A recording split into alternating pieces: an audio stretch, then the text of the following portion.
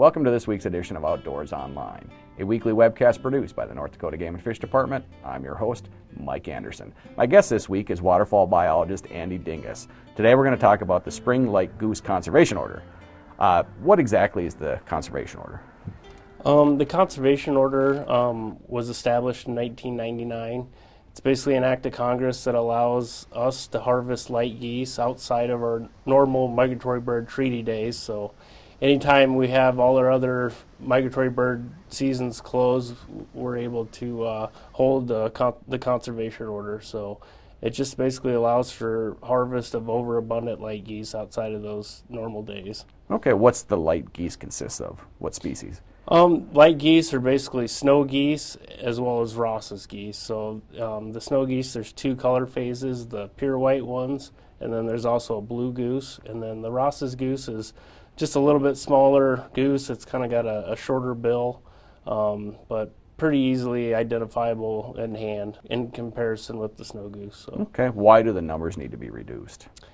Well, they're essentially since about the early 90s they've been growing exponentially, and uh, eventually biologists kind of recognize that they're becoming overpopulated. So, um, you know, there's enough people up in the Arctic kind of habitat where these bird, birds breed, and they started to recognize some some adverse uh, adverse consequences of that. Basically, they're uh, um, destroying their Arctic breeding habitat. So these birds, when they when they forage, they kind of they kind of grub that vegetation and pull it out of the soil. So um, basically, it takes a long time for that for that habitat to rejuvenate and recover from that from that destruction. So. Andy, what are the dates for the conservation order this year in North Dakota? Yep, in uh, North Dakota, the conservation order this year opens up on February 23rd, and it uh, will close close uh, this year, May 12th. With the weather outside and all the snow, we probably aren't going to see birds for a while.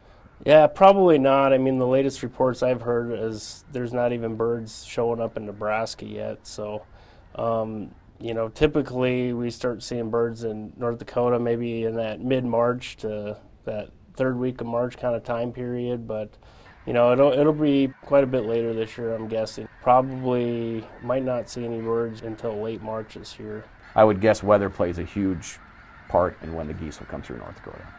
Oh, absolutely, yeah. Um, you know, it's very dependent on the amount of snow we got, kind of the ambient temperatures we're looking at too. So um, this year, you know, we got quite a bit of snow in you know eastern North Dakota, northeastern South Dakota right now, um, and and it's obviously been pretty cold. So uh, I would I would guess it's going to be a pretty late migration this year, and then when those birds, you know, it can change in a hurry, and when those do birds do show up, they'll probably push through pretty fast this year, I would guess. Where do they winter?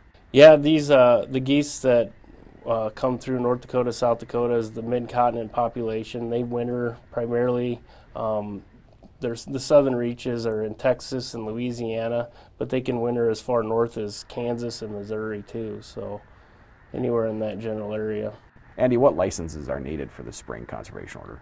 Yeah, for residents, um, you basically need to be licensed to hunt small game, so you can have a certificate and a combination license. And if you don't fish, you can also have your certificate, your small game license, and your general game and habitat license to be um, to qualify. How about non-residents? And non-residents, um, we basically have a specific license just for the conservation order. It's uh, it's fifty dollars, um, and then if you come and hunt in North Dakota during the conservation order this spring, none, you got to remember none of those days would count against any fall hunting opportunities you might have in, in North Dakota going forward. So for residents, their last year's license is good until March 31st, and if they plan to hunt after March 31st they need to buy a new license. Yeah, that's correct. That's something to remember. So if you're going to hunt into April, be sure to get a uh, get your license renewed. Okay. How about HIP certification? Yeah, HIP certification definitely. Um, we basically go by the calendar year for that. So anyone that's going to hunt during the conservation order this year needs to renew their HIP certification for 2019. Regulations during the Spring Light Goose Conservation Order are a little different.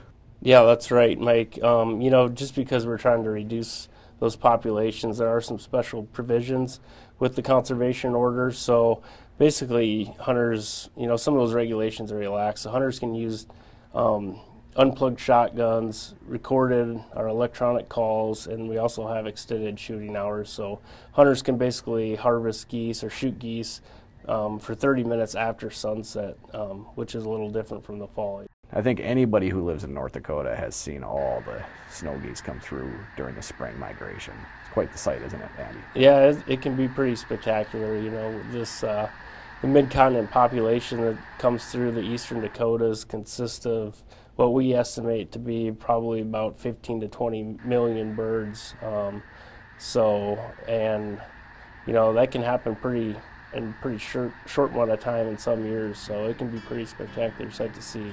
A lot of good information, Andy. Thank you. Thanks, Mike. Reminder, anglers have until midnight March 15th to remove permanent fish houses from North Dakota waters and from any state wildlife management area or federal refuge land. Anglers are advised to remove their house soon because access on many lakes could be restricted due to snow.